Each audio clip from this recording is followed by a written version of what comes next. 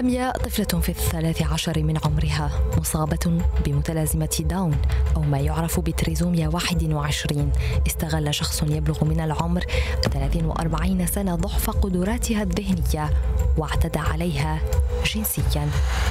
واحد العشية هكذا رحت ديت عندي بنتي آه، مونغوليان كيما يقولوا.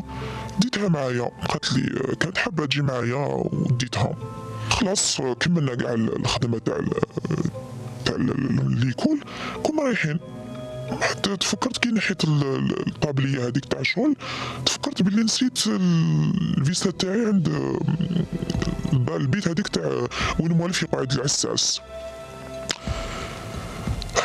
لا غير صعيبة باش نعاود يعني نتفكر لك كاع واش كي فتحت الباب هذيك تاع البيتة هذيك نلقاه نلقى القش تاع بنتي في اللط.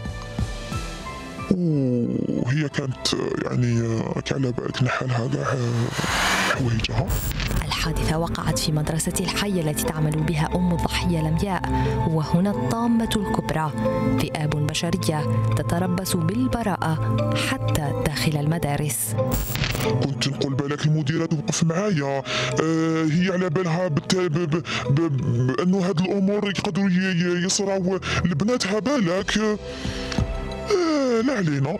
قالت لي آه مدام قالت لي أختك.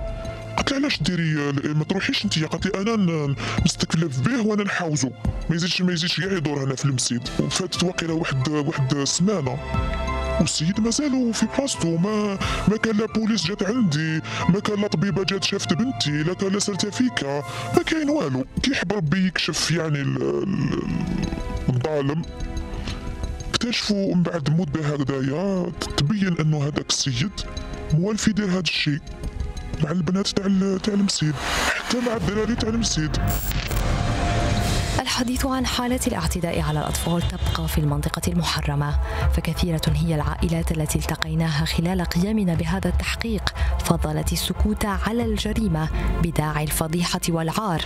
مجسدة بذلك منطق الصمت الذي تفرضه التقاليد والأعراف على مجتمع يجرم الضحية. ويبرئ المجرم العادات والتقاليد والأطر الثقافية للمجتمع الجزائري تجعل الكلام عن الفضيحة حتى لو كان من تعرض إلى هذا الفعل يعني هو ضحية لكن الخوف من نظرة المجتمع من كلام الجيران يعني من كلام المحيطين يجعل الضحية يخفي ما تعرض إليه. وبالتالي هذا يعني يؤدي إلى تزايد وتفاقم هذه الظواهر من تحرش جنسي من اغتصاب إلى آخره.